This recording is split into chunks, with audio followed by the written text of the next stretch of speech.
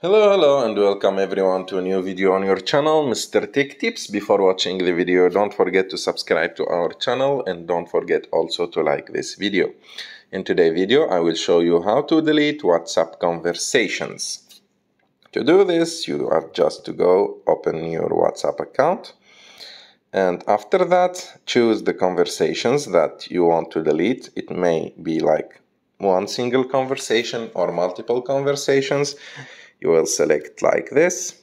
And after that as you can see there is like delete icon on the top of the screen.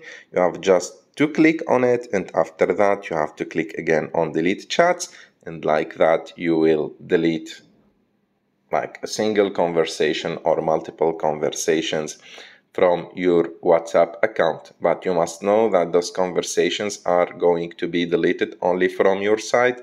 So for the other person or other persons, they will still have these conversations. I hope that you like this video. If you like this video, don't forget to subscribe to our channel, to like this video and see you in the next one.